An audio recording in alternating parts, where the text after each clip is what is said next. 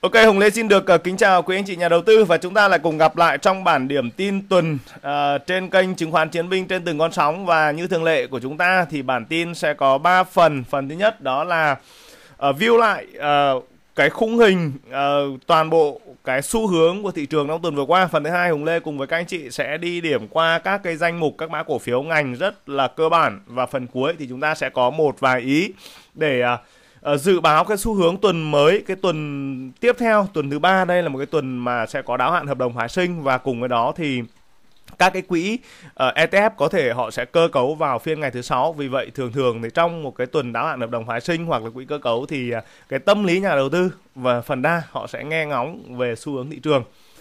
Thì uh, kết thúc bản tin tuần thì Hùng đã ra bản tin tuần video số 176 trong đó phân tích thị trường chứng khoán Việt Nam tuần từ ngày uh, ngày 11 đến ngày 15 tháng 10 và chúng ta uh, có đánh giá các cái ngưỡng uh, hỗ trợ kỹ thuật và các cái ngưỡng kháng cự cùng với đó. Thì hôm nay có chia sẻ một số uh, các cái ý cơ bản. Thứ nhất đó là về chỉ số Dow Jones và chỉ số Dow Jones F thì uh, đến thời điểm hiện tại uh, trong tuần vừa qua thì nhìn chung uh, và trong hai cái tuần vừa qua ba cái tuần vừa qua thì chúng ta nhìn thấy rằng là cái tạo lập của chỉ số Dow Jones và chỉ số Dow Jones Future nó rất là quan trọng. Uh, nó quan trọng đến mức mà các anh chị có thể nhìn thấy đây đó là uh, tạo lập của bên phố Wall. Người ta cũng đang cố gắng giữ lại những cái vùng hỗ trợ rất là quan trọng của thị trường đó là vùng 34.000 điểm à, uh, 33.500 và nhìn chung thì trong tuần vừa qua thì uh, uh, bộ đôi chỉ số này đã có một tuần giao dịch hết sức là tích cực. Uh, nôm na cái câu chuyện là nó nằm ở trên vùng 33.500 điểm đó là một cái tín hiệu rất là khả quan. Uh, phiên giao dịch tối nay thì cũng chưa có xem nhưng mà nhìn chung là phiên giao dịch ngày hôm qua như vậy thì khả năng tối nay sẽ có cơ hội để vượt lại cái mốc 35.000 điểm. Đó. Ở ờ, cái ý thứ hai nữa là chúng ta có nói đến chỉ số giá dầu thì ờ, đối với thời điểm hiện tại là giá dầu của chúng ta đang giao dịch tương đối tốt và ổn định. Uh, nó đã vượt thoát được cái vùng kháng cự rất mạnh của nó ở đây đó là khoảng vùng giá 76.5 và đến tuần này thì chỉ số giá dầu của chúng ta đang có xu hướng break à, nền kháng cự 82 à, ờ, đang có xu hướng ở uh, break nền kháng cự 82 ở đây và khi nó uh, ao được cái vùng 82 ở đây thì đó sẽ là những cái tín hiệu kỹ thuật uh, cơ bản tốt tác động đến nhóm ngành dầu khí. À, tuy nhiên nhóm ngành dầu khí thì thời điểm hiện tại là nó đang có một cái sự chỉnh giảm ừ, nhẹ nhẹ thôi và sau cái sự chỉnh giảm nhẹ đó à, cổ phiếu tích lũy lại nền và giá dầu vẫn tốt thì nhóm ngành P vẫn sẽ là ừ, là là có một cái lực bật tiếp À, cái phần thứ ba đó là cái hỗ trợ kỹ thuật. Thì chúng ta có nói đến các cái vùng biên hỗ trợ kỹ thuật uh, của index rồi của VN30 và của phái sinh.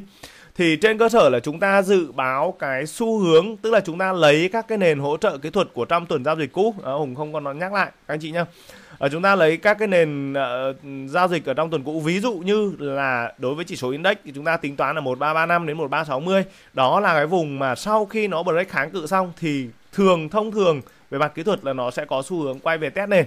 Đó.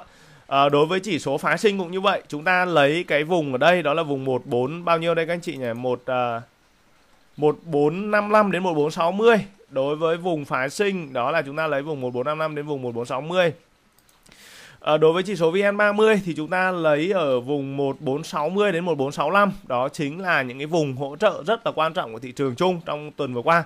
Thì chúng ta thấy rằng là bộ ba chỉ số của chúng ta thì đây là cái điểm mà chúng ta uh, phân tích cái điểm uh, bản tin kết tuần. Thì sau đó thì trong phiên giao dịch thứ hai đầu tuần thì bộ ba chỉ số này đã có những cái chuyển biến rất là tích cực. Và gần như thì nó không có test lại cái biên kháng cự tuần trong tuần vừa qua.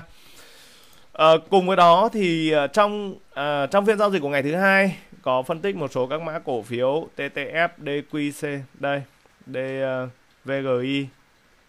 Đây thì uh, cùng với cái thời điểm đó thì cái lực giao dịch như vậy thì Lê có đánh giá cái ngưỡng kháng cự tuần của phái sinh và VN30 ở vùng 1490 và đối với index ở vùng 1390. Đó. Thì các anh chị chúng ta sẽ quan sát lại một cái khung hình khung hình đầu tiên chúng ta sẽ quan sát chỉ số index đi.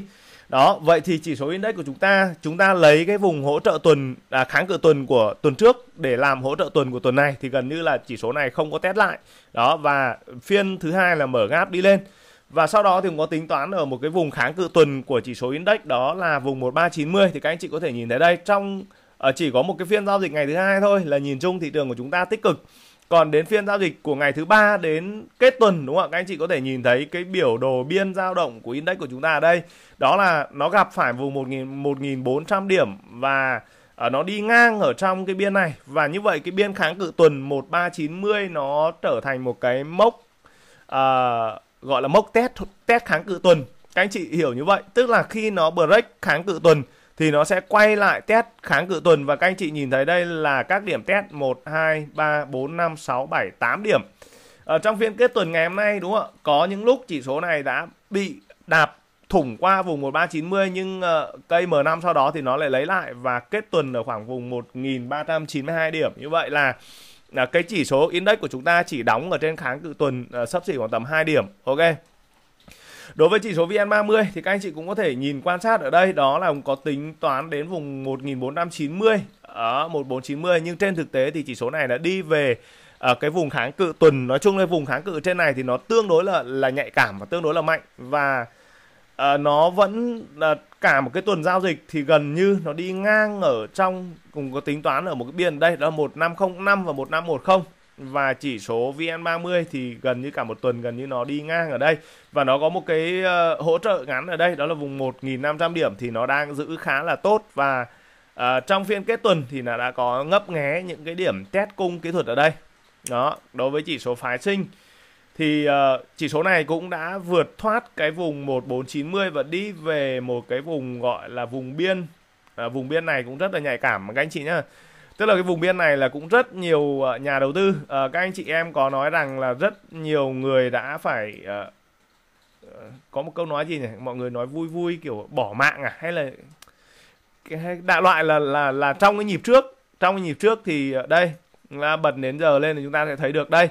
Ở trong một cái nhịp này thì rất nhiều anh chị em nhà đầu tư đã phải gọi là tiêu điều từ cái vùng rất nhạy cảm của thị trường ở đây đó là vùng 1505 đến 1510 thì bây giờ quay lại đến đây thì ờ, rất nhiều nhà đầu tư bảo là à, anh ơi đây cái vùng này là cái vùng mà đã chôn chôn vùi gọi là chôn chân rất nhiều nhà đầu tư và đúng là như vậy.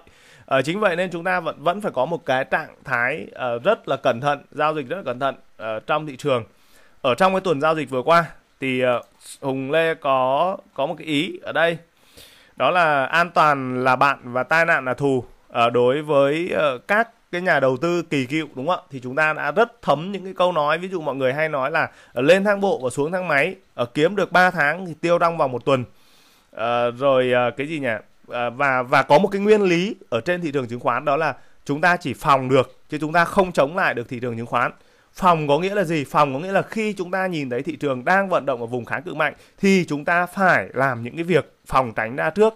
Đó chúng ta phải uh, có những cái kế hoạch uh, xây dựng trước để chúng ta uh, hạn chế được tất cả những cái sai lầm đáng tiếc ở trên thị trường. Còn khi mà thị trường của chúng ta đã rơi vào một cái thế trận đó là thế trận chốt lãi hoặc là thế trận sọt thì gần như uh, chúng ta không có thể uh, chúng ta không có thể chống lại được. Và uh, cái cách phòng chống thì chúng ta có nhiều cách. Một là chúng ta chốt lãi ok đúng không ạ? Có lãi chúng ta chốt. Thứ hai là chúng ta có thể đưa cái tỷ lệ tiền mặt trên cổ phiếu về ngưỡng an toàn. Ví dụ 30 70 hoặc 50 50 tùy các anh chị. À, thứ ba là đối với các tài khoản đang full margin thì chúng ta nên hạ tỷ trọng margin nên đưa tỷ lệ tài khoản của chúng ta về ở các ngưỡng an toàn thì đấy là những biện pháp phòng. Còn chống thì thôi chúng ta không nói đến câu chuyện chống. Bởi vì thông thường thị trường à, các anh chị đã chứng kiến rồi chỉ có 5 đến 10 phút thôi thị trường của chúng ta mất 30 điểm 40 điểm và tại những thời điểm đó là hệ thần kinh của chúng ta đơ hết đơ cứng hết 100% và chúng ta không thể nào chúng ta xử lý được trong một cái khoảng chốc lát nó ngắn như vậy. Thế thì đến lúc mà chúng ta bình tĩnh trở lại uh, ngày phiên ngày hôm sau thì cổ phiếu của chúng ta đã bị giảm rồi lãi của chúng ta đã bị mất rồi và tiền của chúng ta bị mất rồi thì chúng ta lại nuối tiếc và nuối tiếc cứ nuối tiếc như vậy. Thì cái câu chuyện là càng nuối tiếc thì cổ phiếu của chúng ta càng giảm càng giảm và chúng ta càng không dám bán. Và đến một cái ngày nào đó mức chịu chịu lỗ không chịu được nữa ở trong con người ta cảm thấy là cuồng phong cảm thấy ăn không ngon ngủ không yên ở trong một giấc ngủ ở trong một buổi tối đó về vờ hỏi là sao mặt xị thế? Bảo à bị thằng hàng xóm nó đánh hay là vì gì? Xong rồi thôi quyết tâm là à ngày mai anh sẽ cắt hết toàn bộ cổ phiếu để anh đánh lại một cái nhịp mới. Ok cắt xong thế từ đấy cổ phiếu cứ từ từ lên. Đó câu chuyện đó à, đã đã từng xảy ra và đã xảy ra chắc chắn là khi hùng nói như vậy thì sẽ chạm đến à, à, đến đến đến đến gọi là ký ức của rất rất rất nhiều nhà đầu tư. Đó phải khẳng định như thế và bản thân hùng lê cũng như vậy à, nên bây giờ là hùng đã đã tìm một cái phương án mới và cái quá trình chinh chiến ở trên thị trường thì hùng đã uh, xoay chuyển cái cục diện là chúng ta sẽ phòng phòng hơn hơn chống và quan điểm là như vậy.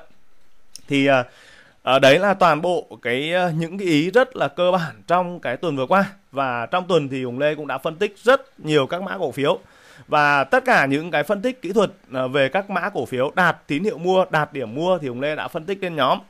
Ờ, và anh chị em nào mà đã theo dõi những cái cái bản tin của ông Lê đã đồng hành cùng ông Lê trong những cái khoảng thời gian vừa qua và cảm thấy rằng những cái phân tích nó có giá trị hoặc là nó phù hợp với mình thì cũng mời các anh chị là chúng ta về đồng hành cùng với team của ông Lê tại công ty chứng khoán VPS. Ok, phần thứ hai thì à, chúng ta sẽ đi view các anh chị nhé, chúng ta sẽ đi view uh, cơ bản các mã cổ phiếu và các nhóm ngành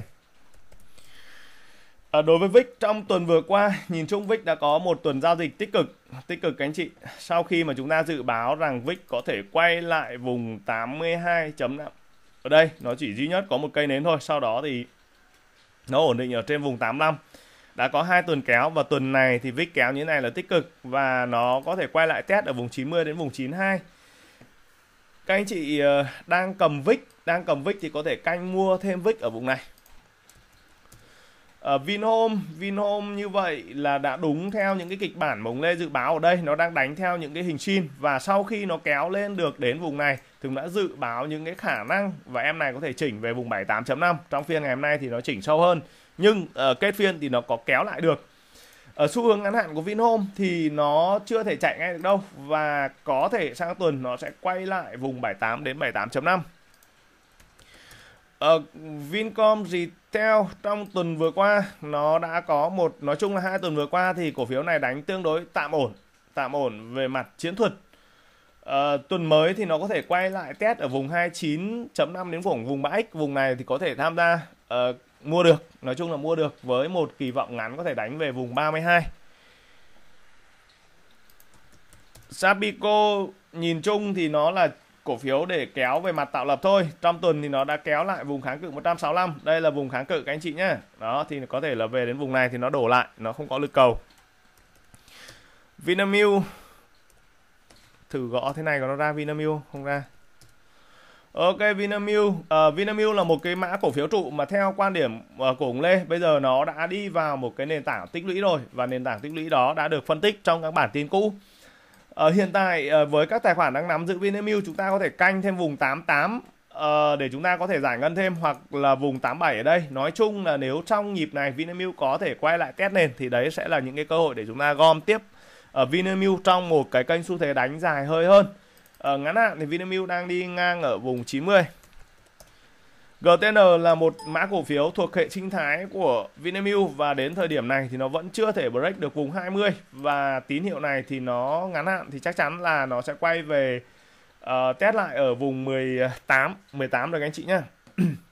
Còn nếu một cái khung view nó dài hơn thì chúng ta thấy rằng là GTN có thể về vùng 8 hoặc sâu hơn vùng 16.5 đến vùng 17 và thậm chí là vùng 15.3 thì khi cổ phiếu chúng ta khi mà chúng ta có những cái góc nhìn nó dài như vậy để làm gì? Để chúng ta gặp những cái vùng kháng cự ở trên này chúng ta sẽ không không mua. Các anh chị nhé và chúng ta sẽ canh những cái vùng mua ở dưới này. Đây sẽ là những cái điểm gom của Vinamilk ờ, GTN và chúng ta sẽ chờ một cái ngày nào đó một cái ngày đẹp trời nào đó. Hiện tại là cũng chưa nhìn thấy nhưng uh, sẽ có. Các anh chị cứ tin hùng đi. Nó sẽ có đấy. Nó không yên tâm sẽ có. Và nó sẽ break được cái vùng 2x ở đây. Thì đấy là cái thời điểm mà nó sẽ mở ra một cái cái cái cái cái gọi là cái chân trời mới đúng không ạ? MCM một mã cổ phiếu được khuyến nghị uh, mua để uống sữa và đã đạt target 1 của chúng ta. À target 2 chính xác là target 2 target 1 ở vùng 65 target 2 ở vùng 70 và đang hướng đến target 3 ở vùng 75 ở ờ, ngắn hạn thì GTN có thể chỉnh theo nhịp chung của thị trường đó là có thể test lại vùng 65 chúng ta sẽ quan sát ở vùng này. VDC ờ, một trụ tương đối là kéo tương đối là tốt trong thời gian vừa qua để đưa cái điểm số của thị trường. Ờ, và đây các anh chị nhìn thấy ở đây đúng không ạ và nhìn thấy một cái cái, cái một một một cái gọi là một cái target tương tác của ông Lê đưa ra đó là vùng 135 thì phiên ngày hôm nay nó đổ đó phiên ngày hôm nay nó đổ thì chắc chắn là khoảng ờ, 10.000 đến đến thời điểm là khoảng tầm 10.000 anh chị em có view ở cái bản tin tuần của ông Lê thì chắc chắn là mọi người sẽ không lựa chọn để mua uh, cổ phiếu VDC ở quanh vùng 134 135. Vì sao? Bởi vì về kháng cự thì không ai mua cả, đúng không ạ? Chúng ta phải mua ở hỗ trợ. Ngắn hạn thì nó sẽ test về vùng 130 tạm tạm như vậy. Tuần tới thì Hùng sẽ quan sát được 130 nếu 130 mà gãy thì chắc chắn là sẽ đi về đây vùng 126. HVN nhìn chung thì nó vẫn đi ngang thôi các anh chị, chưa có gì cả và cái câu chuyện về hàng không thì nó cũng đang gặp khá nhiều khó khăn đúng không ạ AST lực cầu nó chưa có nhiều à, về chủ đạo thì uh, con này thì nó uh, nó thanh khoản nó thấp lắm và ai muốn đánh thì đánh không đánh thôi. View như vậy thôi và ngắn hạn thì có thể về 60 ACV thì mã cổ phiếu này hay hơn vì bởi vì cổ phiếu này nó có tính công chúng hơn. ACV thì cũng đã có phân tích ở đây vùng 80 này, xong đó vùng 82, vùng 83 ở đây đó là những cái vùng mà cổ phiếu này sẽ chỉnh cung và chúng ta mua chờ đợi break vùng 85 thì trên thực tế là trong tuần cũ là nó break vùng 85 rồi. Đang target ở nhịp này ở vùng 90 đến khoảng vùng 92 nó là hợp lý. Ở Mansan đó Mansan ok các anh chị có thể nhìn thấy đây đó target của Hùng đang xây ở vùng 150 chạm suy soát chạm 150 hai cây không vượt thoát được quay lại chỉnh. Nó chỉ có như vậy thôi nguyên lý hoạt động của cổ phiếu và nguyên lý của thị trường nó không có gì cả. À, về góc nhìn của Hùng thì Hùng nhìn rất đơn giản à, trước đây có một số nhà đầu tư bảo là ông Hùng ông ấy lên ông ấy chỉ có mấy cái cái đồ thị linh tinh ông ấy chém gió như đúng rồi ông ấy không có các cái chỉ báo kỹ thuật. Nhưng xin thưa với ờ, tất cả anh chị em nhà đầu tư chúng ta có khoảng hơn 100 các cái chỉ báo kỹ thuật nhưng tất cả các chỉ báo kỹ thuật nó đều đi chậm hơn với giá. Tức là giá chạy trước rồi chỉ báo kỹ thuật mới chạy sau. Và đối với hùng lê hùng lê không có dùng không có dùng quá nhiều các chỉ báo kỹ thuật mà ông chỉ chỉ đi phân tích tâm lý đầu tư tâm lý của đội nhóm đội lái. Tức là mình nắm được cái tâm lý hành vi của đội lái là mình đã thắng rồi, mình không cần chỉ báo kỹ thuật. Đó, ông nói thẳng luôn như vậy. Còn tất cả những cái lớp học, nói luôn, tất cả những cái lớp học mà được mời gọi, được chào mời á, đó, chỉ là lý thuyết thôi, lý thuyết suông thôi. Còn chứng khoán nó là tâm lý, nó là thi đấu tâm lý, cũng là một mã cổ phiếu man sang cả, nhưng có người có lãi, nhưng có người lỗ đó những người mà những anh chị mà mua ở đây chắc chắn lỗ đúng không ạ? Xong tèn sang bên này phát mua phát này lỗ luôn. Đó nhưng mà chúng ta có nền tảng kiến thức chúng ta có quan sát và chúng ta có tâm lý chiến thực chiến. Đó chúng ta mua ở đây lỗ lãi. Đó nhưng chúng ta mua ở đây lỗ. Nhưng câu chuyện là gì? Bây giờ mọi người là à thế bây giờ ông ông nói như vậy là ông nói sau. Nhưng lật lại tất cả các bản tin phân tích tuần để các anh chị có thể à, ngẫm lại chiêm ngưỡng lại đó, xem là những cái điều hùng nói. Ví dụ, hùng nói về man san đúng không ạ? Nó sẽ chạm cái vùng kháng cự tuần 150 đấy, các anh chị chú ý. Đó, mặc dù là trong những cái bản tin tuần đây phân tích ở đây, đó, khi đó cổ phiếu man san chưa có chạm đến gần 150 đâu. Nhưng mà chúng ta dự báo được cái vùng như vậy thì đấy là đấy là cái gì? Chỉ báo kỹ thuật nó không nói. Nhưng ở bằng một cái kinh nghiệm mà chúng ta thi đấu nhiều trên thị trường, chứng khoán muốn giỏi các anh chị ạ, chứng khoán muốn giỏi không có gì cả, các anh chị cứ mang tiền xong đó đầu tiên ấy, nếu tiền bé chúng ta chưa có kinh nghiệm chúng ta mua những lệnh bé thôi. Ví dụ à, thay vì một lệnh các anh chị mua một nghìn cổ phiếu các anh chị chia 100 cổ phiếu đó thì chúng ta sẽ có 10 lần mua thì chúng ta sẽ có 10 lần để chúng ta sửa sai. Ok các anh chị nhưng nếu mà chúng ta táng một lệnh một nghìn luôn thì chúng ta sẽ không có cơ hội để sửa sai. Đó vậy thì uh, đánh chứng khoán giỏi không phải là sử dụng chỉ báo kỹ thuật giỏi không phải là chúng ta đi học nhiều lớp học mà chúng ta phải thường xuyên rèn luyện kỹ năng quan sát cổ phiếu kỹ năng trading cổ phiếu ở trên thị trường và chúng ta tập cho mình một cái tâm lý thi đấu. Đó và sau đó chúng ta có một cái góc nhìn tổng quan. Thì đấy là những cái ý mà hùng ờ, nói ra để mong muốn là cái gì? Mong muốn cái đích là mong muốn mọi người làm sao đó mọi người đừng có mất tiền vào những cái thứ mà nó không đáng có. Đấy nôm na như thế thôi. Rồi, ok các anh chị, Mansan thì khả năng là sẽ test lại cung ở vùng 140 và sâu hơn thì phải phòng thêm cái trường hợp nó về 135. MML là một mã cổ phiếu được khuyến nghị đầu tư dài và đầu tư dài từ đâu? Đó là đầu tư dài từ từ từ đâu đó ở đâu đây này, từ khoảng vùng 50 và bây giờ là đang xây target nó lên được khoảng gần trăm rồi. Như vậy là một mức tăng trưởng các anh chị cũng có thể cảm nhận đó là một cái mức tăng trưởng rất là tốt đúng không ạ? theo quan điểm của Hùng như vậy ờ, hiện tại thì nó đã lên được target 95 và trong tuần thì hiện nó đang hơi chấp chới hơi chấp chới. Và với việc chấp chới như này thì các anh chị lưu ý ở vùng 90 gãy 90 đẩy bán không gãy tiếp tục cầm. Đấy. Quan điểm rất rõ ràng về mặt kỹ thuật là như vậy chúng ta không phải tiếc nuối một cái gì cả. MSR thì uh, đang vận động ở vùng kháng cự 25 đến vùng 26 các anh chị lưu ý nếu có hàng canh chốt Ờ, uh, BVH BVH các anh chị. Ở đây uh, đó BVH các anh chị ờ, có thể xem lại những cái bản tin phân tích tuần. Hùng có dự báo cái vùng kháng cự mạnh của nó ở vùng 63 Uh, bản thân thì đó trong tuần sau khi mà nó không break được vùng kháng cự thì cổ phiếu này đã bắt đầu quay về chỉnh giảm và test cung. Ngắn hạn thì nó sẽ test ở khoảng vùng 59 à, sâu sâu hơn ở dưới này thì khoảng vùng 57 các anh chị nhé BVH là đang đi vào một cái nhịp chỉnh cung rồi.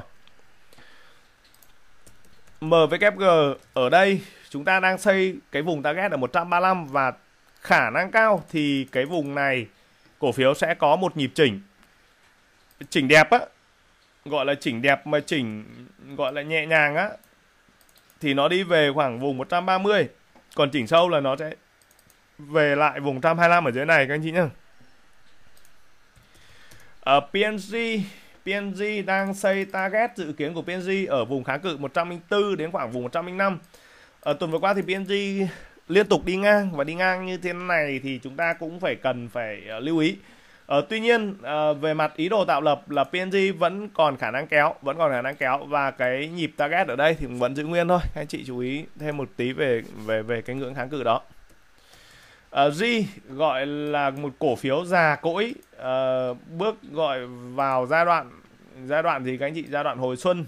Đấy là câu nói vui của G uh, ờ, vì sao lại như vậy? Bởi vì uh, có những cái thời điểm mà ri không tăng được và chúng ta phải rất là nóng ruột, rất là nóng lòng và cuối cùng thì ri cũng đã uh, có một cái trang kỹ thuật và đến tại thời điểm này thì chúng ta đang phân tích phân tích một cái trang kỹ thuật tăng của sóng ri và hiện tại thì chưa hết target. Hiện tại thì đang nâng target của em này lên 74 đến 75 và khi hoàn thành cái target này thì chúng sẽ tiếp tục có những cái phân tích định hướng tiếp theo.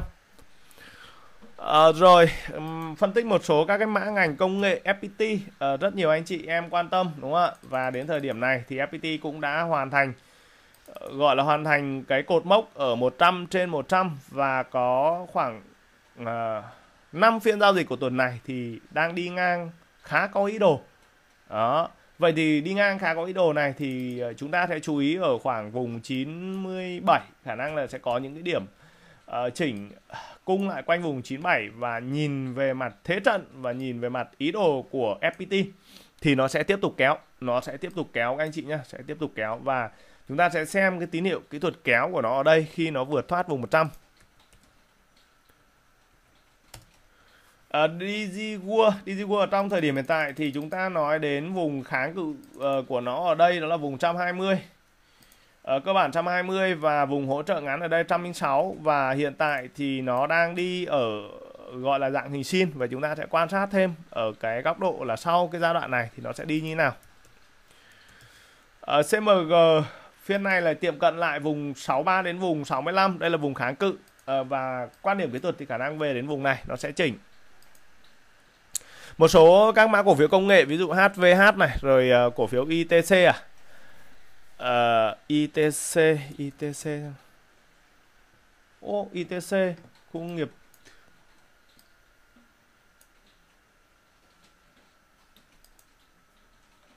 À không phải không phải không phải. Nhóm ngành này.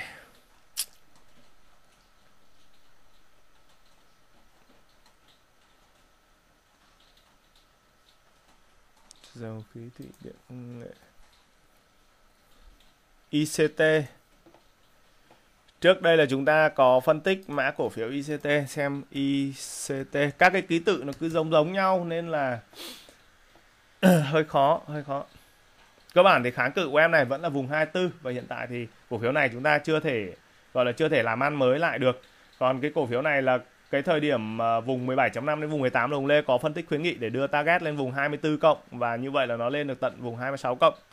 Sau đó chỉnh nhưng mà với giai đoạn này thì chúng ta lại chưa thể vào lại được. HVH xem nào HVH cũng chưa vào lại được. HVH chúng ta bắt một nhịp ở đây từ vùng 8 lên đến tận vùng 11 sau đó chỉnh giảm. Bây giờ nó đang đi như thế này thì chúng ta chưa bắt lại được. Cái nào bắt lại được thì sẽ báo.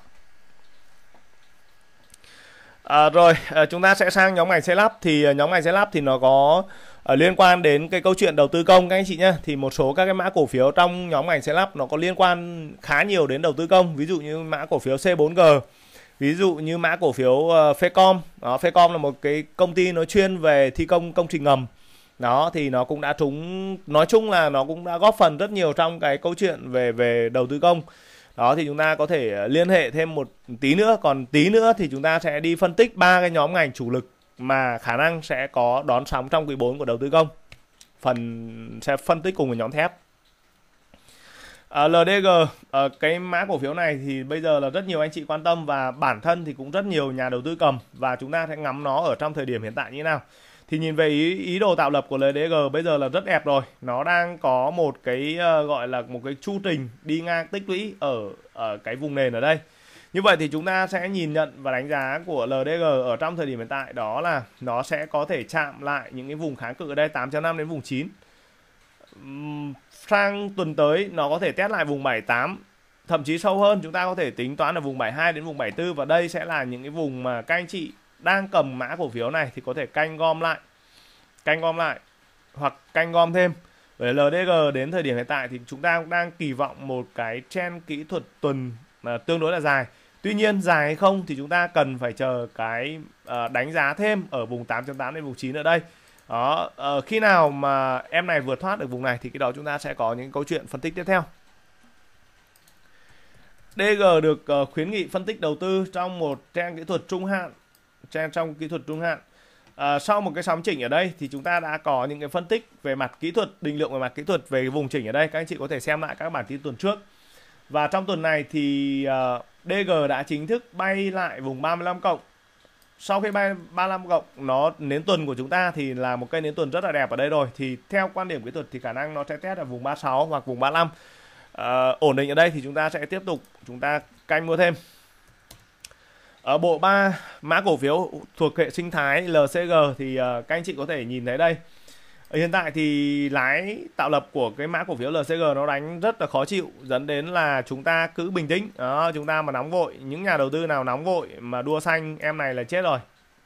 Tiêu rồi đó và chúng ta cứ bình tĩnh. Bây giờ kháng cự của nó là 20.5 và Hùng Lê vẫn đang có những điểm phân tích kỹ thuật của nó ở vùng 18 16 và 18 nói chung là ba điểm giá này sẽ là những điểm mà uh, có thể gom thêm ở uh, trong một kênh xu hướng kỹ thuật dài của LCG đó chứ còn lại là không đua xanh. Cổ phiếu này là không đua xanh. Đua xanh là chỉ có bị thịt luộc.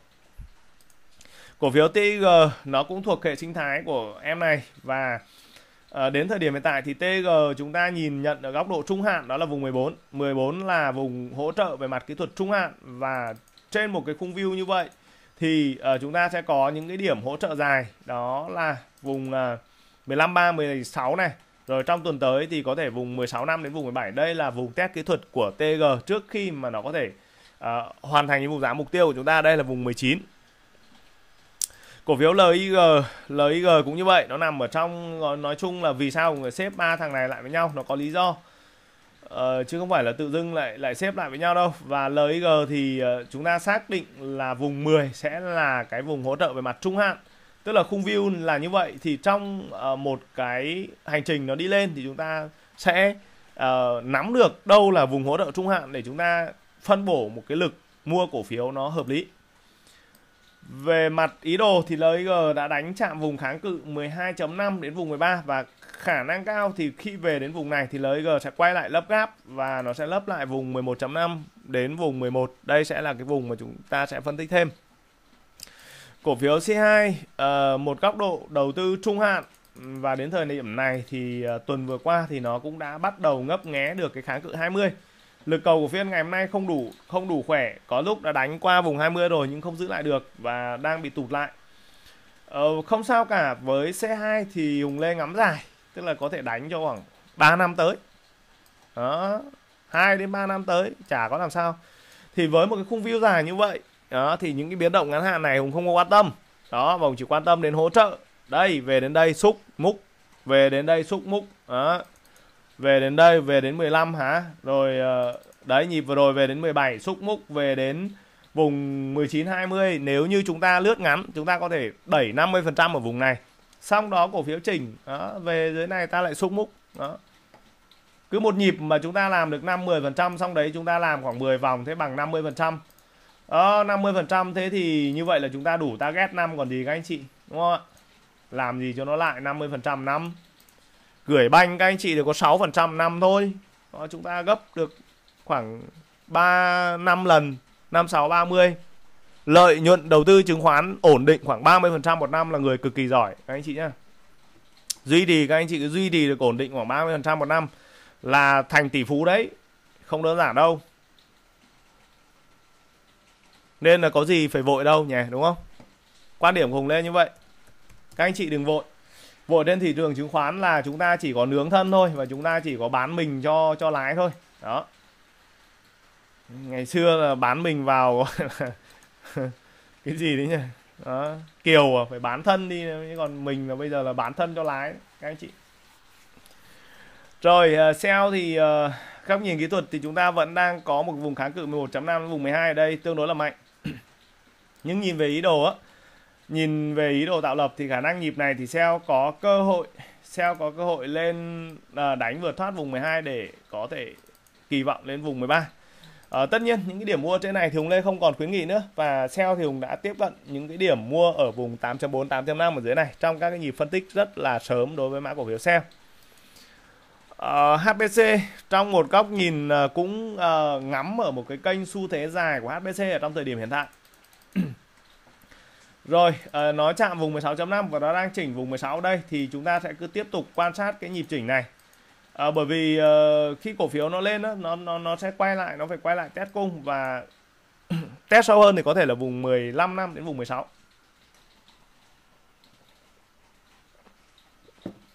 DRH các anh chị nhìn thấy DRH không ạ? Và đến thời điểm này DRH chạm vùng 22 à, chúng ta không có nói đến câu chuyện nói trước hay nói sau. À, chúng ta không có phân trần câu chuyện đúng sai đúng không ạ? À, một cái nhà đầu tư nổi tiếng ở trên thế giới người ta nói rằng là đầu tư chứng khoán giống như như chúng ta tung một cái mặt xu lên trên không á. Sau đó có mặt xu nó rơi xuống đất thì nó có mặt sấp mặt ngửa. Và đầu tư chứng khoán cũng như vậy nó có đúng nó có sai. Nhưng cái điều quan trọng nhất là khi đúng thì chúng ta kiếm trong một nhịp đúng là chúng ta kiếm được bao nhiêu tiền và trong một cái nhịp sập của thị trường chúng ta bị mất bao nhiêu tiền? Và chúng ta trừ cái cái dung hòa của cái tổng đó chúng ta lấy cái đúng trừ đi cái sai. Trong một năm chúng ta dương lãi được bao nhiêu tiền? Cái đấy là cái quan trọng. Đó những cái cái ngắn hạn đó, trong cái ngắn hạn là chúng ta có thể sai chúng ta có thể lỗ. Đó nhưng mà cứ đến 31 tháng 12 dương lịch các anh chị tổng kết lại trong năm vừa qua chúng ta được bao nhiêu tiền trên thị trường chứng khoán? Thì đấy mới là cái mà chúng ta cần phải nói đến. Đó chứ một số các anh chị vào là bắt đầu comment là nói đúng, nói sai. Chúng ta comment thế làm gì cho nó mệt các anh chị? Mất thời gian. Đó, thay vì cái thời gian đó là chúng ta đi tìm hiểu thị trường. Đó, hùng lê không hợp thì tìm ông hùng lê phẩy. Ông hùng lê phẩy không hợp thì ông lại đi tìm ông ông x xì iz phẩy để chúng ta nghe. Đó, câu chuyện nó như vậy. Kiến thức của chúng ta là kiến thức mở. Đó anh chị ạ, kiến thức mở và bản thân hùng lê cũng như vậy uh, đến thời điểm này hùng lê cũng đang học rất nhiều người và cứ mỗi, mỗi một ngày thì uh, cái quá trình đầu tư cái quá trình mình ở trên thị trường á ờ, mình có những cái sai và mình sẽ cố gắng sửa sai. Sau khi mình cố gắng sửa sai rồi mình nói cho mọi người rằng là à đừng có làm như vậy. Chỗ đấy sai đấy. Đúng không ạ? À, đừng có đừng có đi vào những cái vùng như vậy. Chỗ đấy là hố hố hố lầy đấy đừng có đừng có mua cổ phiếu ở những cái chỗ đấy. Chỗ đấy là có cướp đấy chỗ đấy là kháng cự đấy chỗ đấy là rủi ro đấy vân vân ở vân vân. Đó tức là mình đi chia sẻ những cái giá trị mà mình có. Tất nhiên là người ta bác hồ có nói là gì? À, có đức mà không có tài thì nó nó vô dụng. Nhưng mà uh, mà có tài mà không có đức thì thì thì thì thì à có có có tài mà không có đức thì là vô dụng. Mà có đức mà không có tài thì làm việc gì cũng khó đó, thì quan trọng nhất là cái khả năng hùng nó chỉ được đến đó. Đó, thì mọi người cố gắng là à, à như vậy là phù hợp hoặc là như vậy chưa phù hợp. Đó, cái câu chuyện cuộc sống mình mình mình, cái cái tâm của mình, các anh chị, cái tâm của mình mình nên nên nên trong sáng lên và mình nên hướng thiện. Nó hướng đến những cái việc làm tốt cho chính mình cái đã. Đó, quan điểm của hùng là hùng phải làm việc cho cho bản thân của hùng. Đó, cuộc sống của hùng. Xong đó rồi, mình tốt rồi. Đó, mình có những cái điều kiện, mình nghiên cứu trước, mình đi trước rồi mình có kinh nghiệm trước thì mình sẽ mang những cái cái cái cái cái lợi ích đó đến với cộng đồng nhà đầu tư đến với tất cả mọi người xung quanh. Đó quan điểm có như vậy thôi nhẹ nhàng như vậy thôi các anh chị. Ờ, có gì đâu nặng nề đâu nhỉ mọi người nhiều người rất là nặng nề rất nặng nề các anh chị. Rồi à, DRH thì à, cơ bản đồng sẽ xây target lên vùng 22 và đến đây thì coi như là tạm thời kết thúc uh, cái target của cổ phiếu này. À, chúng ta sẽ đi tiếp theo một cái nhóm ngành rất là quan trọng. Đó là nhóm cổ phiếu ngành dầu khí. À, thì như đầu bản tin Hùng Lê có trình bày với các anh chị đó là chúng ta đang nói đến cái xu hướng giá dầu. Thì đến thời điểm hiện tại là ở cái xu hướng giá dầu hiện tại đang tương đối là tốt các anh chị nhé đang tương đối là tốt. Và nhóm P thì cũng đã gặp những cái vùng kháng cự tương đối là mạnh rồi và nó cần phải chỉnh nó cần phải nghỉ ngơi đó là cái quan điểm về mặt kỹ thuật nó là như vậy và sau khi những cái nhịp nghỉ ngơi đó và dòng tiền lại quay trở lại thì trường chung lại ổn định trở lại tốt thì nhóm P vẫn còn những cái dư địa tăng theo quan điểm vùng như vậy à, chúng ta sẽ đi ờ, vào phân tích ở mã cổ phiếu GAT thì cái target kháng cự của nó ở vùng 115 và các anh chị có thể nhìn thấy đây. Ở trong 2 tuần, có thể nói là trong hai gần gần 2 tuần vừa qua thì GAT đang đi ở những cái vùng kháng cự rất là mạnh. Đó và khi cổ phiếu gặp vùng kháng cự thì một cái nguyên lý là cổ phiếu nó phải nghỉ ngơi rồi nó tích lũy nền. Đó ví dụ như vậy thì uh, những tài khoản đang cầm chú ý vùng 110 cho Hùng Lê.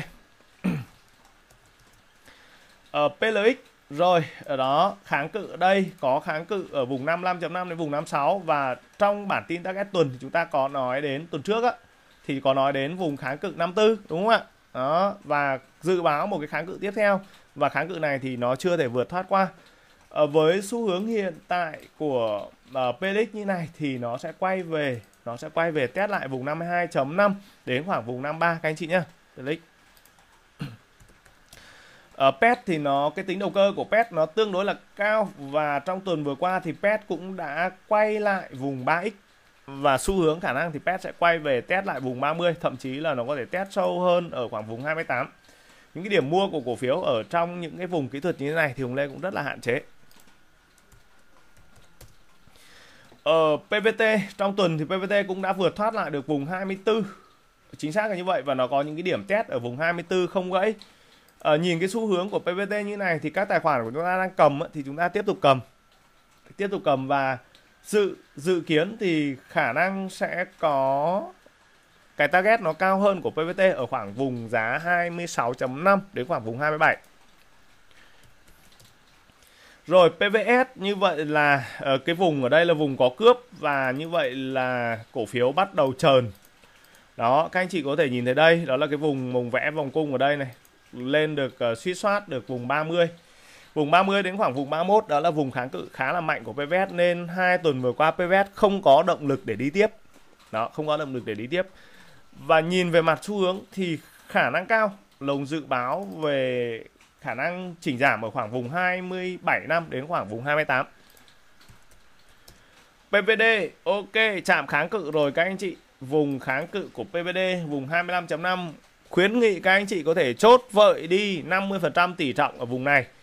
À, sau đó cái phần còn lại các anh chị có thể đu về khoảng vùng 26.5 đến vùng 27 vùng này chốt tiếp. Nếu như mà cổ phiếu lên được uh, lên được vùng này. Đó còn nếu không lên được thì nó sẽ quay đầu test lại cung và test thủng. Nếu thủng vùng 23.5 ok các anh chị ra nốt hàng. Ra nốt hàng để chúng ta gì ạ? Chúng ta hiện thực một nhịp đầu tư của PVD ngon rồi đi lên này là có cơm gạo cuối năm. Tết đến xuân về lại có bánh trưng xanh rồi đúng không ạ? Đâu có phải à, đâu có phải vội vàng làm gì. Đó biết đâu được thủng hai ba trăm năm này nhá không cẩn thận là rơi rơi rơi tõm ấy nhá rơi tương đối mạnh đấy thì chúng ta đề phòng đó chúng ta sẽ không biết được là cổ phiếu lên có lên được tiếp hay không hùng không thể dám chắc là cổ phiếu sẽ sẽ sẽ lên được 27 đúng không ạ? Ok, nhưng chúng ta phòng đó là gì? Phòng có nghĩa là à đến vùng này tôi ra một ít hàng, về đến đây tôi ra một ít hàng đúng không ạ? Thế tôi không chống lại xu hướng của cổ phiếu. Thánh mà chống được, đúng không ạ? Khi mà nó lên 27 rồi nó lên 30, nó lên 40 đấy là câu chuyện bình thường không ai chống lại được cả. Nhưng chúng ta phòng phòng những cái rủi ro đó là chúng ta sẽ cần hiện thực hóa để đó chúng ta biết đâu được đó may mắn thì chúng ta chốt ở đây trong cổ phiếu nó rơi rơi rơi rơi rơi, rơi. Nó về đến vùng 18 20 chúng ta lại gom lại làm vòng mới ví dụ đấy là ví dụ anh nhìn nha rồi uh, chúng ta sẽ phân tích mã cổ phiếu oi oi thì ờ, vùng kháng cự 16 16.5 ở đây vẫn đang hiện hữu ở đây thôi. Trong tuần thì cơ bản oi đi ngang ở vùng 15 khả năng sẽ có những điểm test ở 14.5 BSR xu hướng đẹp. BSR đang đẹp và BSR sau khi hoàn thành target vùng 22 em này test đang đẹp đây này. Lực cầu tương đối ổn định. BSR nhịp này chúng ta nâng target lên vùng 24 ở POV kép. Ờ, đó, POV kép không vượt thoát qua được cái vùng kháng cự ở đây. Đó là vùng 13 13 5 có cảnh báo vùng kháng cự này rồi. Ngắn hạn thì ờ, không có gì cả. 11.8 đến vùng 12 POV kép quay về lại đây. PVC cảnh báo vùng kháng cự 13.5 và hiện tại thì cổ phiếu này cũng đang uh, gọi là đang công kháng cự nhưng công không thành. Uh, ngắn hạn thì nó sẽ quay về test vùng 12. PV bò PV bò, PV bò là chúng ta phân tích sóng lên và sóng lên này thì đang đưa target ở vùng 17. Nhìn về ý đồ của PV bò này thì nó cũng chưa chưa chưa chưa, chưa hết sóng. Khả năng nó sẽ có những cái điểm chỉnh kỹ thuật ở quanh vùng 16.5 dự báo như vậy 16.5 đến vùng 17 sau đó thì có một nhịp đánh lại về vùng 18 đến vùng 19 khả năng mới hết target của cái nhịp này à, rồi chúng ta sẽ đi phân tích một cái nhóm ngành hai cái nhóm ngành tiếp theo. Ờ, đó là nhóm ngành banh và nhóm ngành chứng khoán. À, thì trước khi mà chúng ta đi vào phân tích hai nhóm ngành này á thì hùng lê đã có thường có chia sẻ riêng một một tí uh, một tí chút xíu về hai nhóm ngành này. Đó là hai nhóm ngành này nó đã có một quá trình tăng rất tốt rồi các anh chị. À, nó tăng tí tã rồi và trong những cái khoảng thời gian mà chúng ta có thể nói là khóc thét nếu như tài khoản của chúng ta không có banh và không có chứng khoán phải khẳng định như vậy đó. Nếu như tài khoản của chúng ta không có banh và không có chứng khoán trong một cái quãng thời gian trước đây thì chúng ta khóc thét và liên tục khóc. Bởi vì sao? Bởi vì dòng tiền nó liên tục nó đánh vào nhóm banh và những nhóm chứng khoán nó tăng phi mã luôn. Nó tăng gọi là tăng tí tã luôn và chỉ có nhắm mắt nhắm mũi là ừ, cứ ôm banh và chứng khoán rồi thế kê cao gối đi ngủ đi câu cá đi uh, uống cà phê. Đó. Cuối tháng là tự dưng là tài khoản cứ thế nó dâng lên thôi nó không phải làm gì cả. Đó. Nhưng đến thời điểm này nhưng đến thời điểm này chúng ta phải à, có một cái góc nhìn nó khách quan hơn đối với nhóm banh và khách quan hơn đối với nhóm chứng khoán đó là gì? Nó đang đi vào những cái vùng phân phối và nó đang đi vào những cái vùng khó khăn nhất định. Đặc biệt là nhóm banh thì uh, nợ xấu đúng rồi chính xác nợ xấu. Uh, doanh nghiệp thì phải bơm tiền ra để cứu đúng không ạ? Uh, giống như là ờ, cứu khoảng bơm ra cứu trăm thằng đó nhưng mà chỉ có trong trăm thằng đó thì có khi là còn còn lại được khoảng 50 thằng nó sống khỏe thôi để nó trả lại cái nợ cho cho các anh ngân hàng.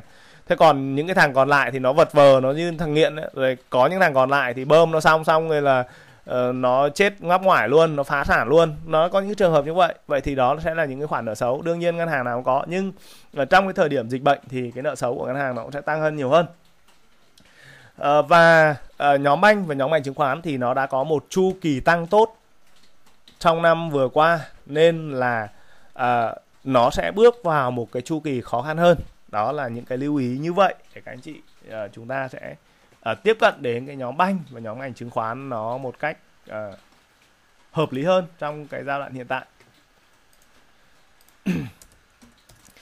Vietcombank nhìn chung thì không có gì uh, kháng cự của nó 100 và xu hướng này thì có thể nó sẽ quay về test lại vùng 95 BIDV khi chạm vùng kháng cự 40 đến vùng 40.5 thì BIDV cũng đang có những cái tín hiệu suy yếu nhất định. À, về ngắn hạn thì sang tuần tới các anh chị có thể quan sát BIDV ở quanh vùng 39 à, ờ, nếu mà xấu hơn thì BIDV là quay lại test nền tức là test lại vùng 37.5 đến vùng 38 ACB uh, chạm kháng cự đây vùng 30 32.933 thì ờ, trong tuần thì đã có những cây nến quay lại test cung. À, nó test đẹp thì nó test một nửa ở đây đó là test vùng 32 nếu mà vùng 32 không trụ được thì nó lại quay về vùng 31 nói chung là nôm na là ờ, uh, ACB thì vẫn đang vòng vo ở vùng 31 đến vùng 32 thôi.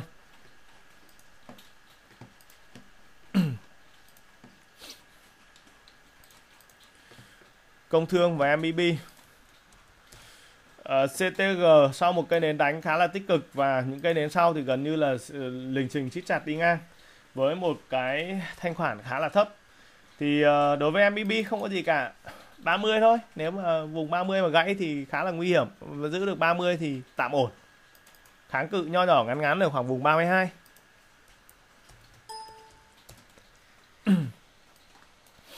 MBB trong tuần cũng chạm kháng cự 29 và đang có những cái cây nến gọi là đi ngang không có động lực. Uh, chung chung ngắn hạn thì lại lại vùng 28 mà ờ, xa xa hơn lại vùng 27 vào cái vùng 27 này mà giữ được thì tạm ổn. Cãi 27 thì hỏng. VP Vtech ở ờ, VP thì đang tích cực hơn cả so với nhóm banh và tuần tới thì nó sẽ công lại vùng 37.5 vùng 38 vượt thoát được vùng này thì nó còn có một nhịp kéo khoảng vùng 4x nói chung VP thì nhìn còn khá khẩm hơn. Techcom. Techcom là nó có vùng kháng cự đây vùng kháng cự 54 đến vùng 55 đấy các anh chị này. Khả năng nhìn chung thì Techcom vẫn có thể có kéo vẫn có thể có kéo. Và uh, kéo về cái vùng kháng cự này thì nôm na là lại lừng khừng thôi. Nếu mà không khỏe thì lại quay về test lại vùng 51 hỗ trợ ở đây. Ở Techcom thì trong một cái góc nhìn ờ, dài thì vùng 40 46 nhà 46 46.5 ở đây. Đó là vùng hỗ trợ về mặt trung hạn còn ông mà đứt vùng 46 thì thôi xong. Đấy phải khẳng định như thế. TP uh, ờ, tuần vừa qua giao dịch tương đối là tích cực và nó đang uh, tiệm cận lại kháng cự 44 vùng giá mục tiêu. Uh, nói chung trong nhịp này thì cùng thì đánh giá rằng TP ở khoảng vùng 44 thôi khoảng vùng 44 thôi.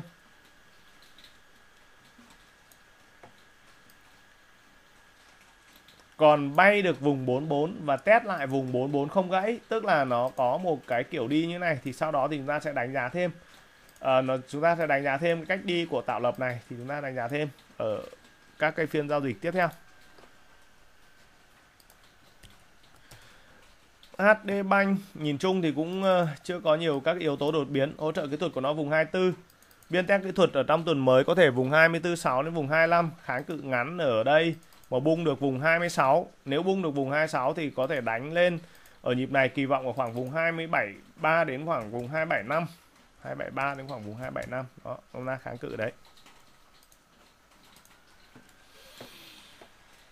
Rồi phân tích một số ôi SHB đó, hôm chiều nay view đến SHB giật mình. Thì đối với SHB các anh chị có thể nhìn thấy đây, vùng kháng cự dài đó là vùng 3x ở đây này. Và chạm cái vùng này thì thôi té thôi còn làm cái gì nữa đấy, sau đó thì này, các anh chị nhìn thấy chưa? Đến giờ này bắt đầu mới hốt hoảng này. Hốt hoảng xong nó đến phiên thứ hai nó đạp cho phát nữa xuống khoảng vùng à, vùng cái này.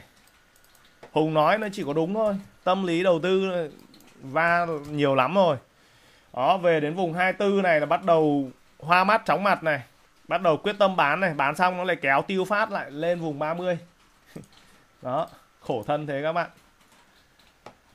Khả năng là như thế. STB nhìn thì cũng đang có dáng dấp đó. STB cũng đang được, nói chung tạm ổn. Vùng 27 là kháng cự này thì khả năng sẽ vượt qua. Nó sẽ test ở lại khoảng vùng 26 và dự kiến thì tuần tới có thể kéo lên ở khoảng vùng 28.5 đến vùng 29 BVB nhìn cũng đang khá khẩm hơn cả, đúng không ạ? Nhìn đang khá khẩm hơn cả vùng hỗ trợ kỹ thuật của nó vùng 20 kháng cự ở đây vẫn là như vậy thôi 22 đến 22.5 không có gì thay đổi.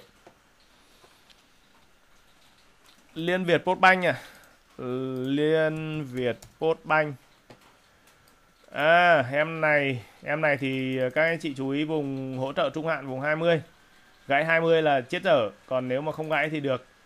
Tuần tới có thể đi biên 21.5 đến biên 22 Và khả năng nhịp này thì em này có thể kéo lên vùng kháng cự 24 Xu hướng, Đấy, nhìn cái cách đánh này thì xu hướng là hoàn toàn khả thi lên cái vùng đấy.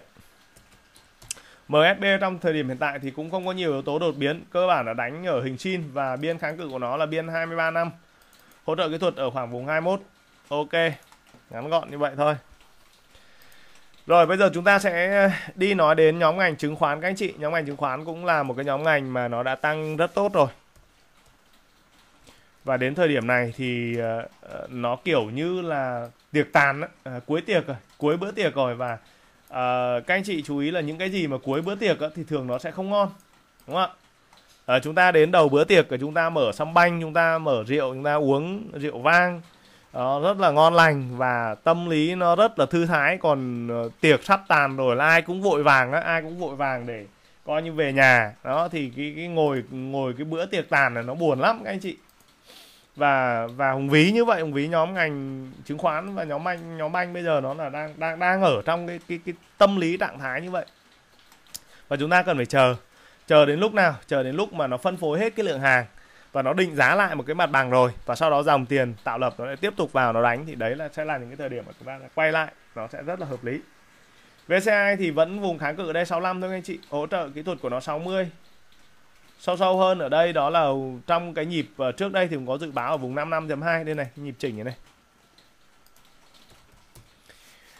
SSI thì nhìn chung là tuần vừa qua thì giao dịch thiếu tích cực. Cơ bản nếu cây đến tuần thì sẽ là một cây đi ngang.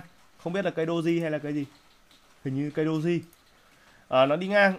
Và sang tuần mới thì nó sẽ test lại vùng 4x gãy vùng 4x thì chúng ta chú ý. ACM à, ờ, tuần vừa qua cũng chủ đạo là đi ngang bám biên ở vùng 38 và nếu như mà nó mất vùng 38 thì cũng là một tín hiệu khá là xấu. SHS à, ờ, có vượt lại được vùng kháng cự 38.5 vùng 40 đây là vùng kháng cự các anh chị nhé. Và vùng này thì chúng ta có hàng thì chúng ta sẽ canh chúng ta chốt thôi. Chứ tuyệt đối là không có đu vào những cái vùng này đu vào những cái vùng này rất là nguy hiểm. Ờ, ở CTS thì trong giai đoạn hiện tại cũng không không có nhiều các yếu tố đột biến. Cơ bản là biên đi đi của nó là ở khoảng vùng 26 đến khoảng vùng 30 kháng cự. Ờ, ở MBS cũng như vậy, nó cũng đi ở trong một cái biên và cái biên này thì nó đang càng ngày càng hẹp hơn. Trước đây là nó đi ở biên ờ, 31.5 đến biên 37.5 nhưng cái biên này nó bắt đầu thu hẹp lại dần rồi đó là nó ở khoảng vùng 35 biên 31.5 vùng 35 tức là nó đi ở trong một cái biên hẹp này. Và sau một cái giai đoạn nó đi ở trong cái biên hẹp như vậy thì cổ phiếu nó sẽ phát đi một cái tín hiệu kỹ thuật tiếp theo. Đó. nếu như nó gãy ở vùng 31.5 hỏng. Nếu nó bươn được thoát được vùng 35 thì cái cơ hội đánh tiếp của cổ phiếu này còn. Chúng ta có thể nắm giữ tiếp vị thế. Đó ví dụ như vậy. Ờ, uh, VND nhìn chung thì uh, kháng cự dày đây rồi 55 và biên đi của nó 48.5 đến biên 55 Ờ, uh, FTS kháng cự của nó 65 ở đây rồi và khả năng khi nó chạm về cái vùng kháng cự này thì nó lại có những cái lực chốt ở đây. AS hiện tại thì nhìn chung nó vẫn có một cái gọi là tín hiệu khả quan hơn so với nhóm ngành chứng khoán và trên góc độ kỹ thuật thì chúng ta cũng không cần phải đua xanh đâu. Em này khả năng sẽ test lại vùng 18.7 và chúng ta sẽ có thêm những cái đánh giá ổn định ở đây. Đây đang là những cái lực cầu khá là bất thường và sau những cái lực cầu bất thường như vậy thì nó sẽ trở thành nó sẽ trở về trạng thái bình thường và chúng ta sẽ chờ cái trạng thái bình thường đó để chúng ta đánh giá tiếp uh, cái xu hướng của cổ phiếu. VIX thì nhìn chung là nó cũng không có nhiều các động lực. Đoạn này thì không không kết lắm không kết những cái cái cái, cái nhóm ngành này lắm nên là chỉ view view như vậy thôi. May mắn thì hồi lên được vùng 20 đến vùng 20.5 mà không may mắn thì khả năng là sẽ sẽ bị bị đạp lại.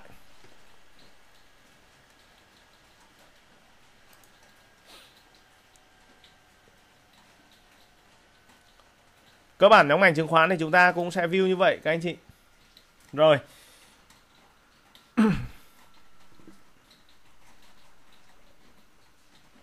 Và đến bây giờ thì ờ, Hùng sẽ phân tích một cái góc độ khía cạnh ở đầu tư công trong vòng quý 4 thì ờ, theo như số liệu đến thời điểm hiện tại là cái tồn dư của đầu tư công bây giờ nó cần khoảng ờ, còn khoảng 2.500 tỷ, các anh chị.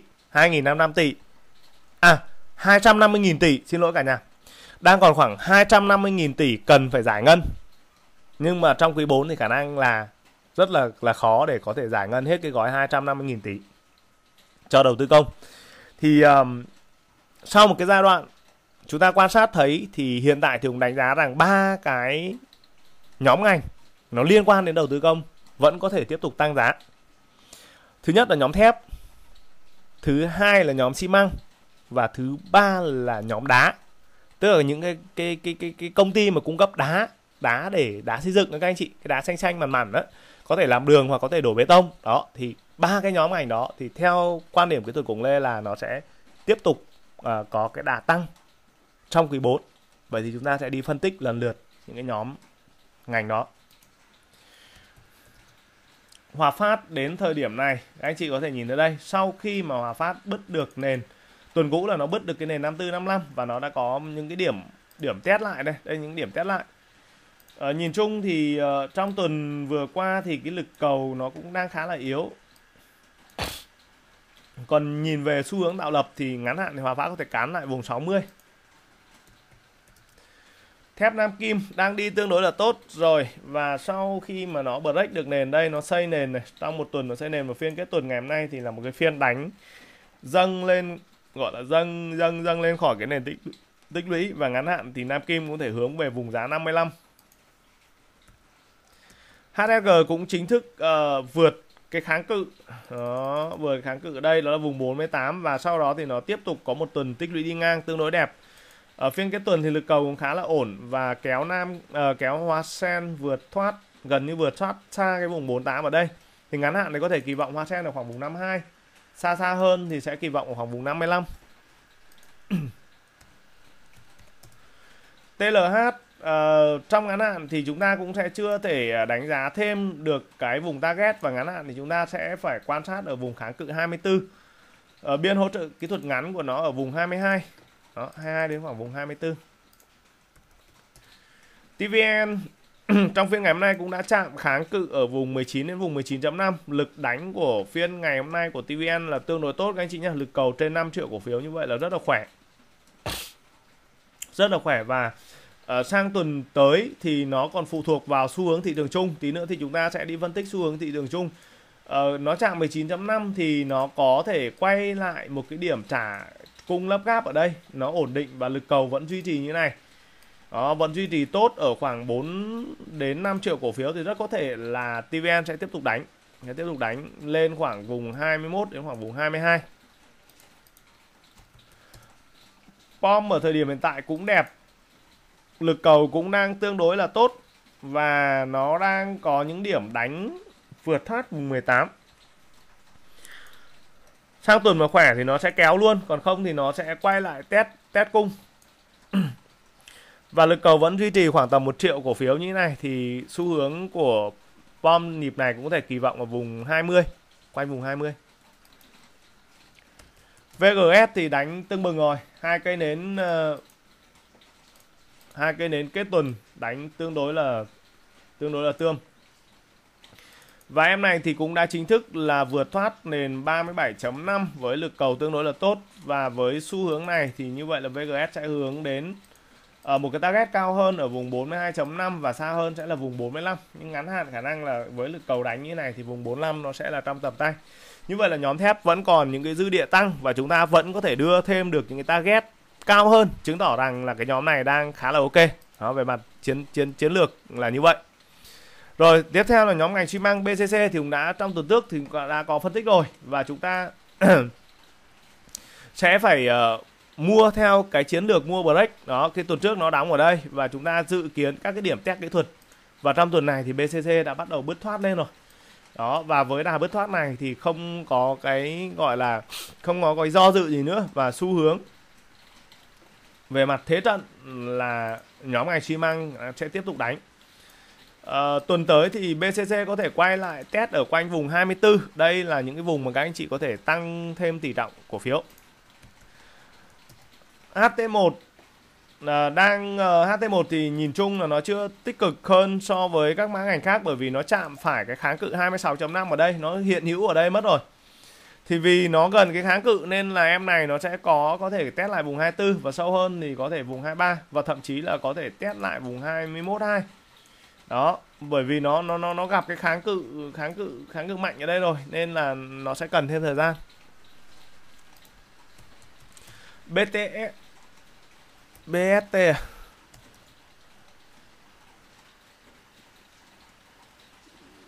BTS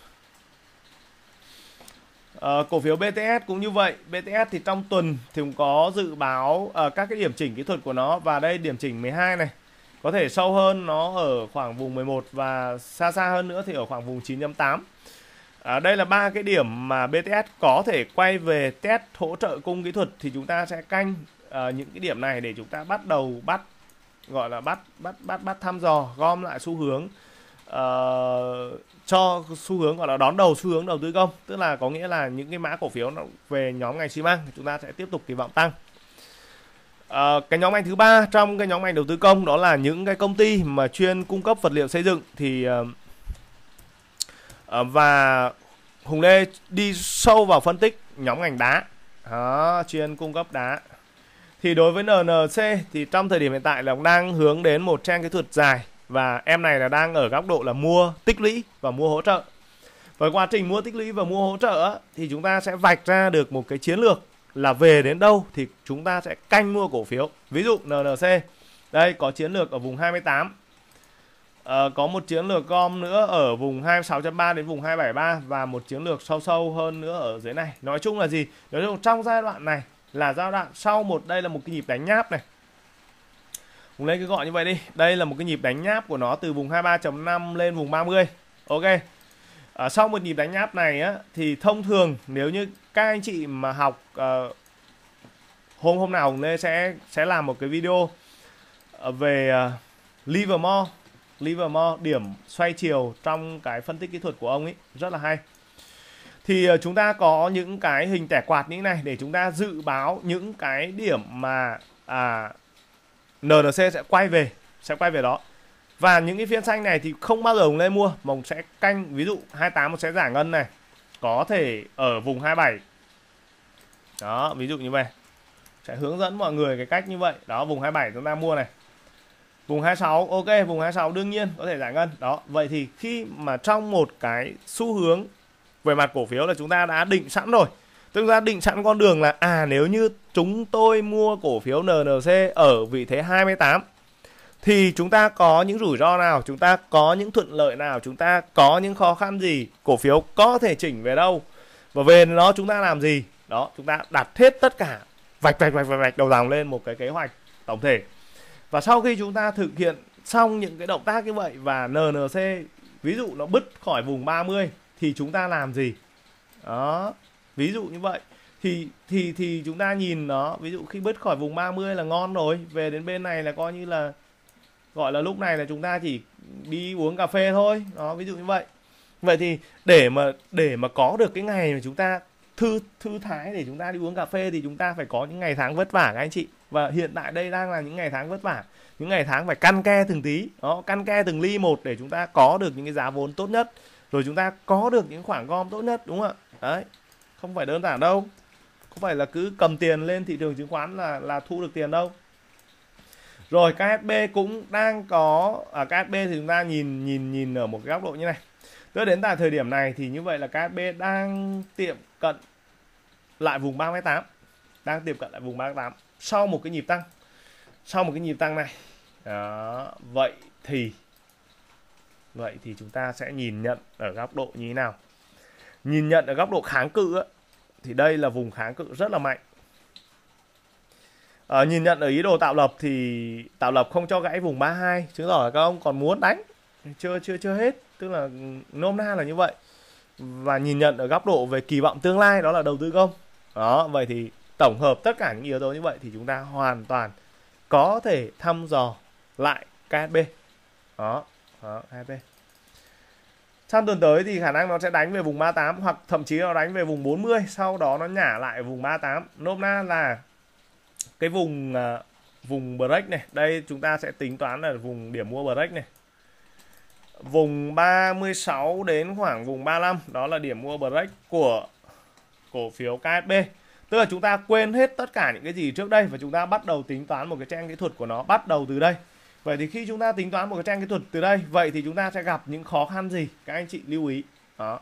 Thì trong trường hợp rủi ro trong trường hợp xấu thì KSB có thể chỉnh về vùng 32 và bây giờ vùng 32 này sẽ là vùng hỗ trợ về mặt trung hạn. Các anh chị nhá về mặt hỗ trợ trung hạn. Vậy thì khi chúng ta cân ở cái vùng này thì chúng ta cần phải phân bổ sức. Ví dụ à, có vùng 34 chúng ta vẫn có thể cân được rồi có về vùng 32 chúng ta vẫn có thể cân được. Đó ví dụ như vậy. Để làm gì? Để chúng ta vẫn kỳ vọng bởi vì cái trend kỹ thuật của cổ phiếu khi nó đánh trung hạn là các anh chị thì nó sẽ chỉnh về các hỗ trợ trung hạn. Và sau khi nó chỉnh về các hỗ trợ trung hạn rồi thì cổ phiếu nó thế nó cứ tương tác đi. Đó thì chúng ta đã xác định đánh KSB là chúng ta phải ngắm tầm trung ở thời điểm này. Ví dụ như thế. Đó. Chứ còn nếu mà bắt đầu hứng uh, hứng hứng xong đấy là táng một nhịp xong đấy là là là đến lúc lái nó đập cho mấy phát là nôn thốc nôn tháo là đi ngay. Ở DHA đẹp rồi. DHA hôm nay đánh như này thì đẹp quá. Nhìn chung là đẹp. Sau ờ, uh, DHA thì Hùng chỉ xem trên ten tuần thôi. Uh, sau một cái thời gian nó giữ được ở nhịp 47 48 uh, gần như cực kỳ là ngon luôn. 47 48 ở đây. Và cây đến tuần nó táng một nhát như này là đẹp rồi kỳ vọng sang tuần thì nó có thể chỉnh lại vùng 50 và ở đây thì các anh chị có thể canh mua thăm dò vị thế và sau đó đúng xu hướng thì chúng ta cứ thế túc tắc chúng ta nâng lên thôi. À, ngắn hạn thì DSA cũng đang kỳ vọng là bay vùng 53 sau đó bay vùng 565 và có thể lên vùng 61.5 đó là cái target dự kiến xa xa của DHA với kỳ vọng đầu tư công. Rồi ok xong nhóm đầu tư công. Chúng ta sẽ đi phân tích uh, thêm một vài nhóm nữa mà đến thời điểm hiện tại thì Hùng Lê thấy rằng là nó đang nó đang rất là tốt, các anh chị nhé. Nó đang đang rất là tốt.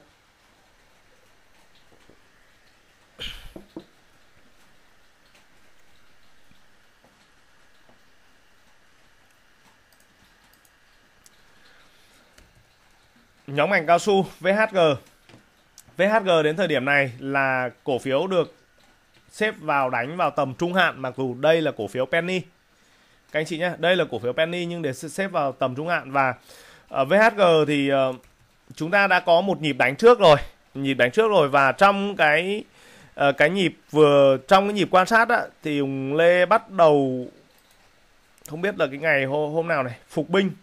Tức là VHG ở giai đoạn hiện tại giai đoạn hiện tại là một cái giai đoạn mà chúng ta sẽ cần phải lưu ý ở vùng 3.2 vùng 3.3 bắt lại bắt lại. Bởi vì Hùng ngắm là thấy rằng là cái cái cái kênh xu hướng của của của của VHG nó đã đi vào cái tầm trung rồi. Và rất khó đúng không ạ? Một tuần khá là chật vật gần như mọi người không bắt được. Và trong phiên ngày hôm nay thì một số uh, các cái tài khoản anh chị em trong team của Lê đã bắt buộc phải bắt ở vùng 3.6 đến vùng 3.7 trước khi mà nó xe đấy ngày hôm nay là bắt buộc phải như vậy. Bởi vì bởi vì bởi vì chúng ta nhìn thấy cái dòng tiền dòng tiền nó ăn lên. Đó, và phiên ngày hôm nay thì nó đạt một cái lực cầu khoảng 16 triệu cổ phiếu. Rất là kinh khủng, các anh chị nhé. Đó, và trong phiên giao dịch ngày thứ hai thì đang đang kỳ vọng thôi. Đang kỳ vọng là ông ấy đạp lại cho một nhát nữa, khoảng vùng 37 đến vùng 38 để gom, và nhịp này thì kỳ vọng ngắn là sẽ đánh về vùng 4 4.5 còn sau khi mà vượt thoát vùng 4.5 rồi thì thì thì xong. Thì xong. thoát được vùng 4.5 rồi, target tiếp theo sẽ là 6. Và ờ, không không ngần ngại, không có có có thể cổ phiếu này sẽ về mệnh 10.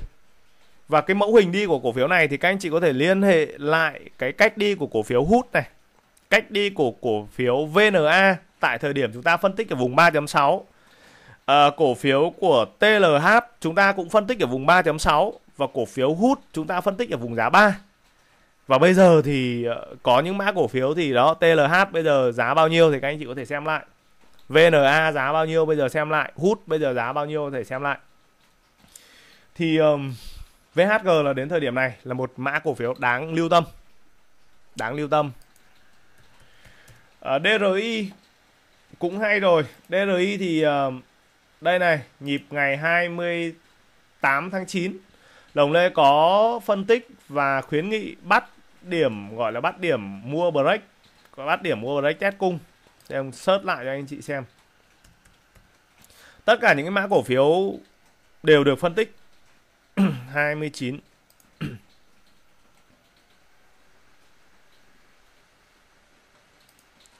29 tháng 8 đây ngày 29 tháng 8 này. Test ở biên 12 đến biên 13 ổn này, tính toán điểm mua cho break cho tất cả tài khoản, tài khoản cầm và tài khoản mở mới. Và trong cái quá trình mà chúng ta đầu tư thì chúng ta phân tích rất nhiều mã cổ phiếu. Và Hùng Lê hạn chế câu chuyện là search tìm. Đó.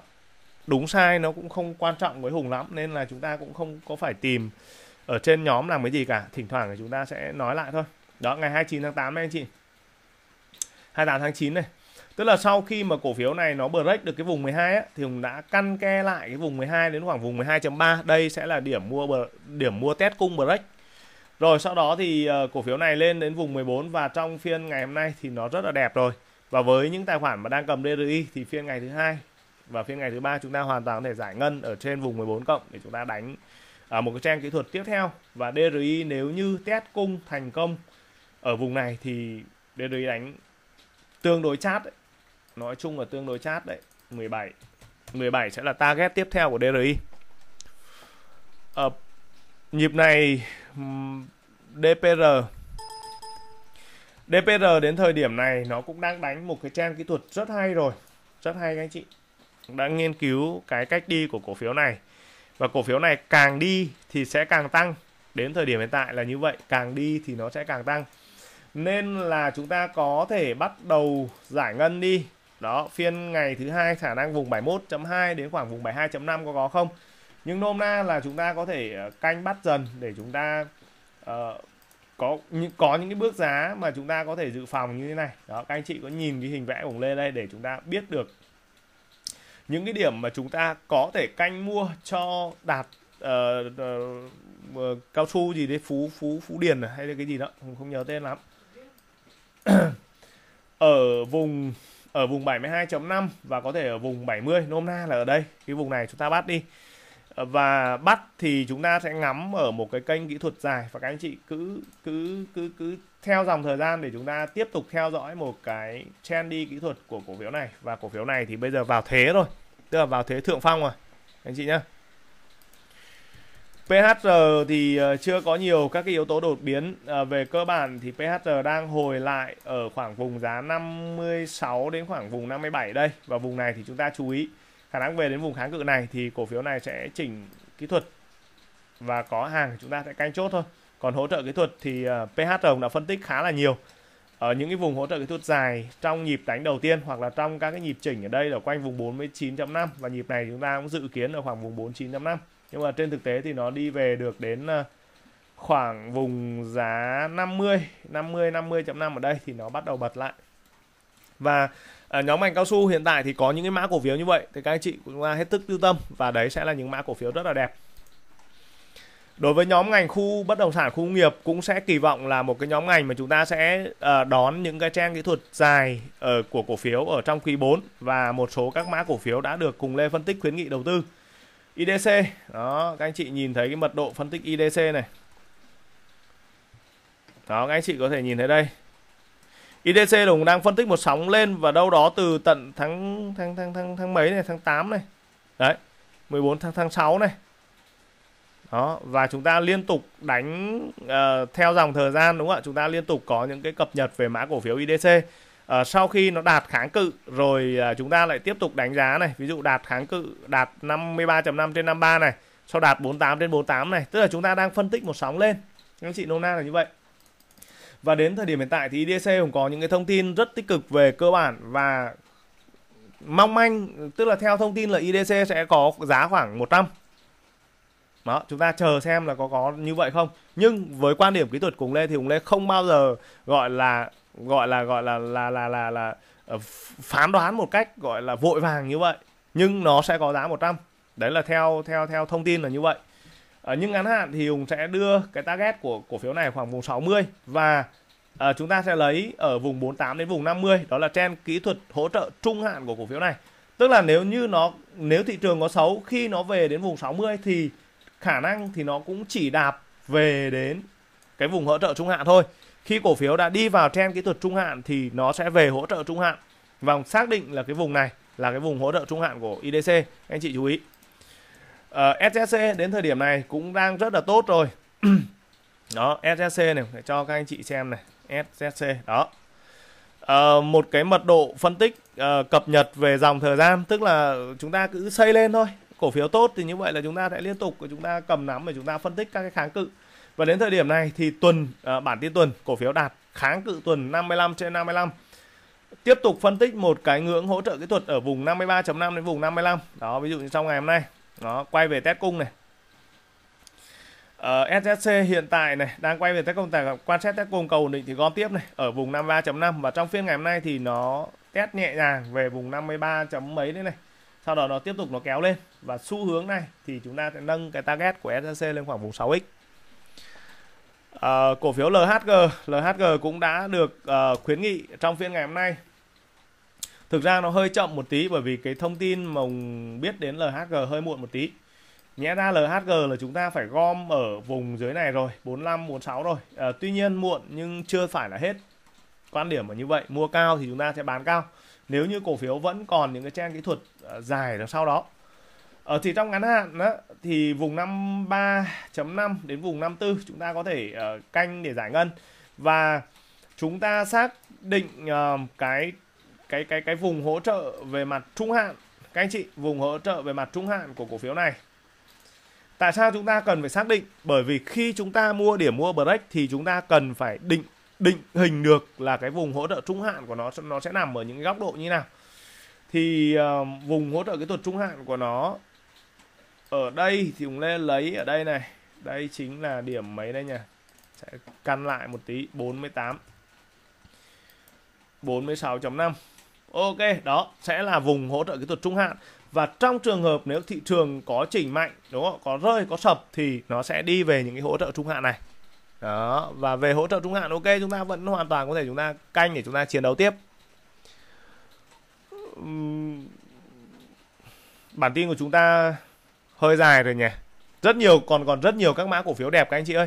Và uh, trong tuần vừa qua thì nó có những cái mã cổ phiếu rất là đẹp trong uh, những cái nhóm ngành về về về về về về về về nhóm ngành pen đấy sẽ phân tích thêm ví dụ DLG đó DLG đến thời điểm này các anh chị nhớ lại những cái phân tích của Lê ở vùng 4 và hiện tại thì DLG cũng đang nâng cái target của DLG lên đến được đến vùng 7 dự kiến lên vùng 7 sau đó ở vùng 7 ổn định thì có thể nâng lên đến vùng 8.2 và trước mắt sẽ ngắm như vậy thôi, chưa ngắm lên đến vùng X. À, cổ phiếu TTF cũng đã được khuyến nghị đầu tư, TTF cũng đã được khuyến nghị đầu tư. À trong phiên này TTF đánh cũng tương đối là kinh ấy. Thì đối với TTF ở thời điểm hiện tại, à, những cái góc nhìn về mặt tầm trung hạn cũng Lê phải nói là như vậy, những cái góc nhìn tầm trung hạn thì chúng ta sẽ chờ đợi TTF đánh vượt thoát vùng 8 và đây là một cái kỳ vọng đầu tiên mà TTF đã có một cây nến tuần vượt thoát vùng 8.3. Sang tuần giao dịch mới thì nếu như nó có một cái cây nến tuần nó xây kiểu xanh xanh như thế này thì rất là đẹp luôn. Và xây kiểu xanh xanh như vậy thì nhịp này cũng đang kỳ vọng là TTF đánh lên 10. Đánh lên 10 sau đó nhả lại 9, nhả lại 9 ổn định thì sẽ kéo lên khoảng tầm 10 14 15 gì thế này này. Đó, nó sẽ như vậy. Và TTF cũng đã được khuyến nghị đầu tư trong team của Lê. À, cổ phiếu ờ, uh, TNI đến thời điểm hiện tại cũng như vậy, rất là hay rồi, nhìn hay lắm. Và TNI thì nó chỉ cần thoát cái vùng 5 thôi là coi như mọi thứ nó cũng sẽ uh, rất là nhẹ nhàng. Ở TNI thì bây giờ nó đang có một cái vùng hỗ trợ kỹ thuật của nó ở đây ở khoảng vùng 4.1 đến khoảng vùng 4.2. À, rồi mã cổ phiếu TLD cũng đang uh, ngắm ở ngắm ở tầm trung hạn. Đó những mã cổ phiếu pen nhưng chúng ta toàn ngắm ở trung hạn. Đó vì sao? Đó thì TLD trong thời điểm hiện tại là chúng ta cũng đang chờ đợi một cái cú ao khỏi vùng 8 nói chung là vùng 7 đến vùng 8 trên đến tuần mà nó đánh bay bật khỏi vùng này thì TLD cũng sẽ đi một cái trend cực kỳ dài. PVL ngày hôm nay bị chốt hơi kinh. Đó PVL hôm nay bị chốt vì uh, cơ bản là cũng cũng đạt được những cái kháng cự uh, khá khá khá rồi. Thì uh, đối với PPL uh, trong cái quan điểm uh, chỉ đạo đối với anh em trong nhóm đó là khoảng vùng 8 cộng chúng ta chốt.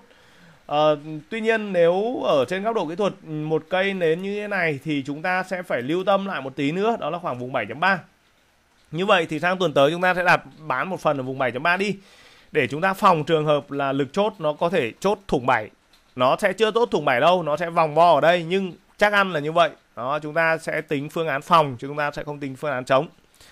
HQC cũng được uh, khuyến nghị đầu tư và đối với HQC ở trong giai đoạn hiện tại thì chúng ta cũng sẽ nhìn ở trên những cái góc độ kỹ thuật tuần. Uh, kỳ vọng kỳ vọng uh, HQC có thể đánh vượt thoát lại HQC có thể đánh vượt thoát lại vùng 4.5 4.3 đến khoảng vùng 4.5 và khi nó thoát được cái vùng ờ, kháng cự đó thì gần như là chúng ta cũng sẽ bắt đầu uh, mở ra một cái giai đoạn mới của HQC theo quan điểm của như vậy và cũng đang ngắm ở những cái góc độ tương đối dài tương đối dài hơi đối với mã cổ phiếu HQC cổ phiếu FTM cũng như vậy các anh chị uh, có thể uh, giải ngân ở trong những vùng khoảng 3.8 đến khoảng vùng 4 để ờ, chúng ta uh, đón chờ một cái trend kỹ thuật khi mà cổ phiếu này đánh vượt thoát vùng 5 khi nó đánh vượt thoát vùng 5 là xong. Đó.